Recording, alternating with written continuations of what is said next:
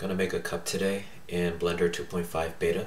Learned it from a guy named CHCH Video uh, from New Zealand. Okay, so first uh, hit numpad 7. You can see your camera is right here. Uh, from this perspective, you should have three lights shining on your object.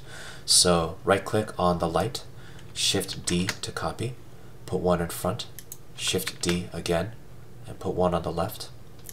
Right click on the cube delete, enter. Shift A and add a circle.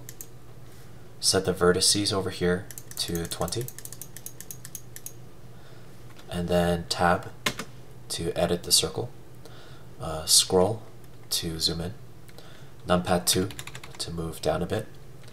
E, Z, move it up. Left click to set it. Now, if you were to if you were to hit S right now, you're only going to get it to move like this. What you want to do is, uh, without moving the mouse, hit E and left click. And that will create a second set of points. So now when you press S, you'll just move at a 90 degree angle now. You can see there's two sets of points here involved. Uh, so set it out a bit, press E, Z, mouse up, move up a bit, and then uh, E left click, make a second set of points, press S to move this set of points in a little bit. Uh, press numpad 2 to look from the bottom, and then press E, Z, and drag the mouse down. Not all the way, it's the inside of the cup. Um, and then E, left click, make another set of points. And these set of points you want to make them meet at the center. So hit Alt M and go to at center.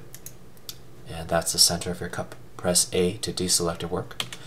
Numpad 8 to look down from the top.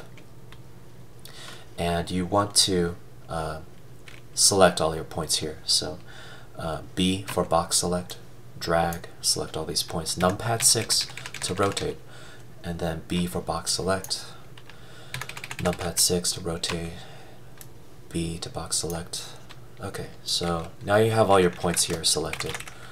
Um, numpad 2 to look from the bottom, and then make a second set of points, uh, E, left click, and then Alt M to merge at the center.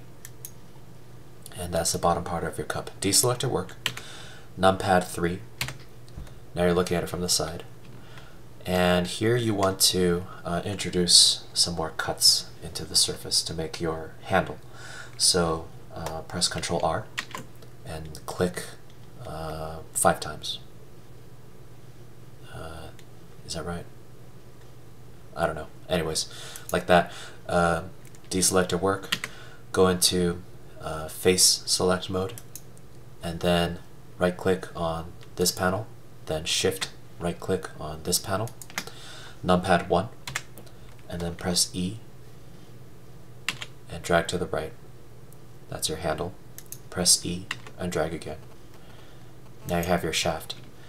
Now in here, uh, zoomed in here, um, deselect your work on these two panels and you want to connect these two uh, to make the shaft. So right click on this panel and this panel, uh, shift right click on this panel to select both, press X to delete the faces, and go back into dot mode, dot selection mode.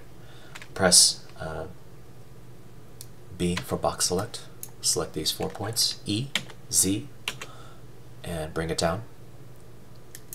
Not completely though. And then press box select to now select the bottom four points. Now you have all eight points selected and you want to connect them. So remove doubles and increase the threshold until they connect. So I just keep clicking. There, it's connected.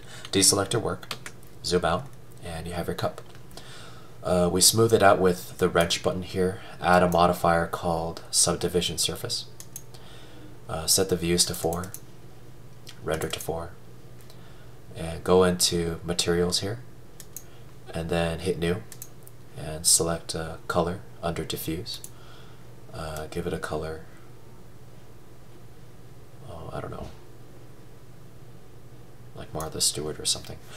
Um, set the hardness to around 150 because anything over that is not noticeable.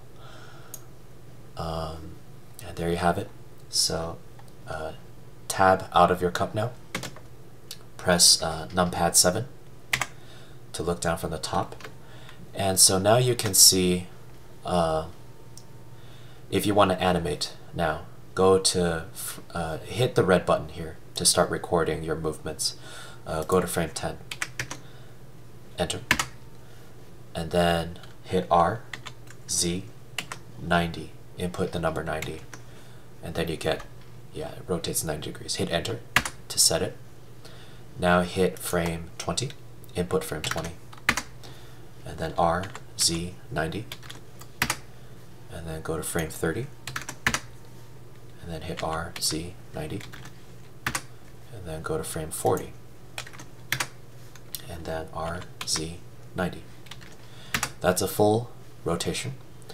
Uh, let's say that in frame 50, uh, up to frame 50, we want the cup shrank, so uh, press S to scale and make the cup smaller. Um, and then say frame 60, uh, you want the cup to move over here. Right click and drag to this place. Left click to set the position. Um, hit numpad 0 uh, here to look at it from the camera view. This is what you see. Uh, so if you hit the back arrow now and then hit the play button, you can see it goes through a full rotation, shrink, and movement. Okay, pause. Now, you only want to render up to frame 60, so click here and set the end frame to 60. That limits the range of the uh, render to 60 frames. Now let's uh, render it by going to the camera button. Well, let's save our work here first. Uh, Control S. Uh, inside my desktop, uh, let's put a blend file called cup cup.blend. Save the blender file. Okay, so uh, in the render button, uh, go to the resolution and go to 100%. And then render it to, I'm going to render to my desktop right here.